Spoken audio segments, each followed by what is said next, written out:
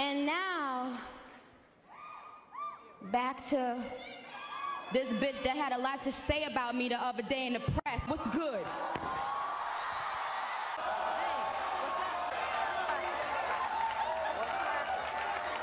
What's cracking? What's cracking?